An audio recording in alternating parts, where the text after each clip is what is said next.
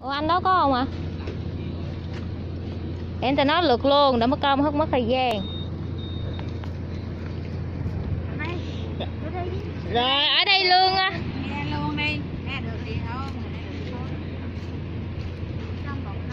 Ở đây lương thử việc là 4 triệu 7 ha. À, à, cộng phụ cấp rồi chuyên cần rồi à, xăng cộ này kia. Mình à, cộng lại là tổng lương là 5 triệu mốt ha. 5 triệu mốt là mình chưa bao gồm tiền cơm với là tiền tăng ca ha. Vô chị. Một vấn công nhân phải không chị? Ờ, vô vô nè. ở đây đập đi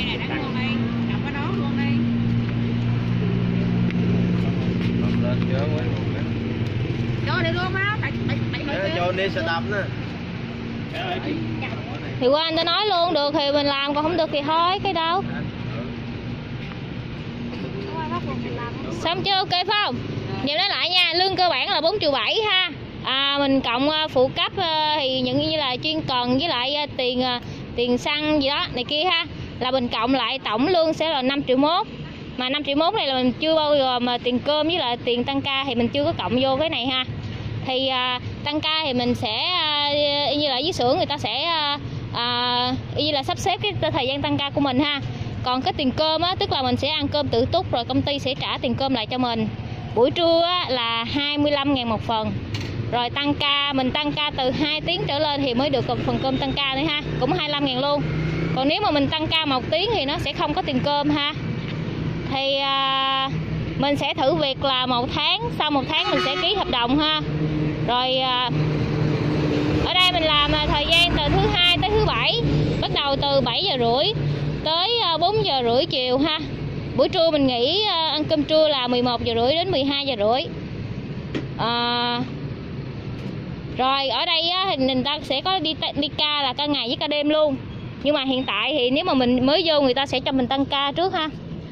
Đó rồi mình thấy cái lương như vậy với cái thời gian làm việc như vậy mình ok không ạ?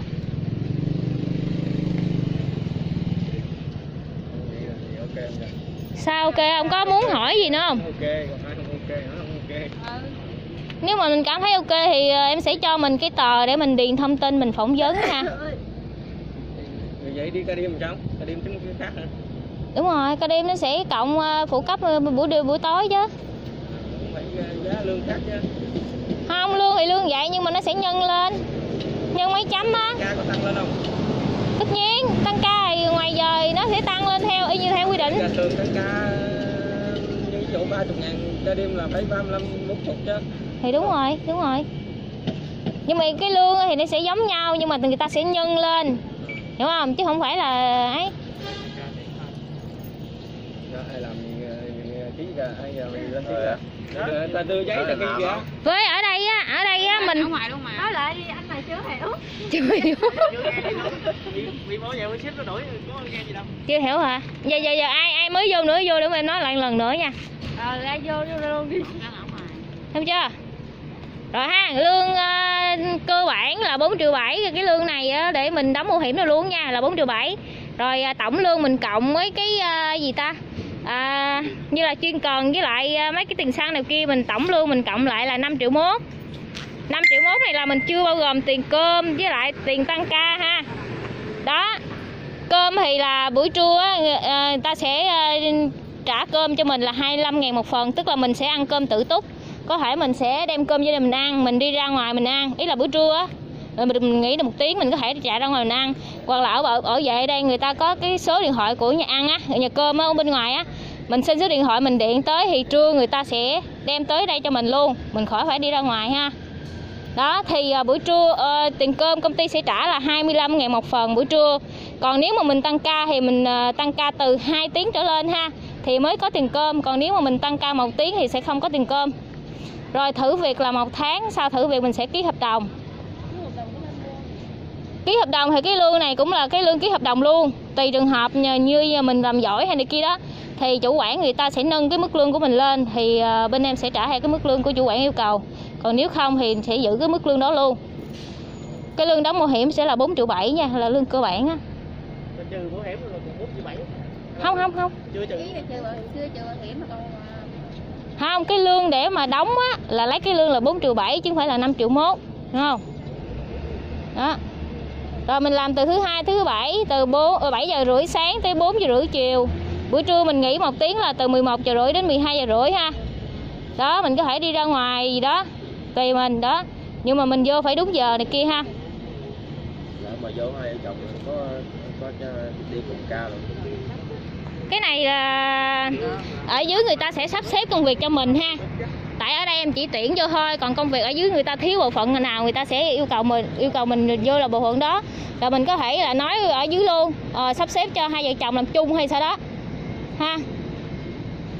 Rồi sao ok không mọi người? Cái gì anh? Được ý là thời gian thử việc á. À, thì nói chung là sau 3 ngày nha các ba sau 3 ngày. Thì mình làm không được thì mình ờ, rút hồ sơ nha.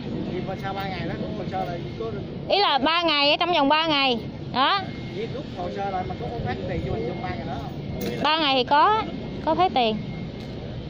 Nhưng mà ở đây á, làm nói chung là cũng ờ, nhẹ lắm. Nói chung là nó nè anh này có làm rồi nè. Hỏi này ý là trong đó dạng nó cái công việc nó không có bị áp lực nhiều. Ý là mình chỉ ờ, dạng nó thoải mái á. Ý là làm cái ờ, cái thùng cái hộp á. Thì ờ, thường thường ờ, những mấy chị nữ thì mình sẽ vô cái khâu mà dán á. Hả? Ờ dán á cái khâu mà dán như là có cái hộp nó sẽ có trét keo với không trét keo để dán cái dán lại thành cái hộp á. Còn những mà cái anh anh thì nó sẽ như là người ta sẽ sắp vô những cái bộ phận mà như phụ máy á. Y là có cái máy cái truyền á. Thì ờ, mình phụ như là mình sẽ đưa giấy vô cái, cái cho vô cái máy để nó chạy á. Thì nó kiểu vậy. Đó thì nói chung là cũng không có nặng hay là cũng không có ấy mấy.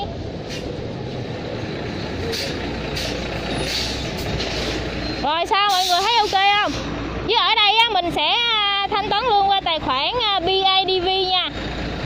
Chứ mình không có trả tiền mặt ha. Nếu mà như là ai quyết định mình làm á Thì à, chiều nay mình sẽ đi làm luôn Đi làm cái tài khoản đó luôn.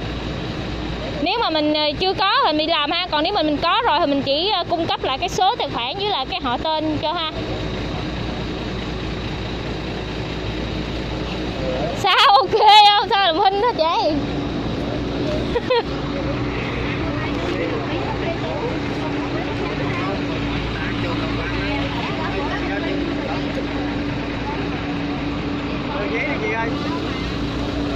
ai làm đâu ai làm đứng qua góc Còn giấy thì làm biết chứ, giờ nói đâu biết đâu. làm liền luôn á gì chị không ai, ai, quyết định làm á thì đứng qua góc thì em sẽ hướng dẫn hồ sơ Ai chưa?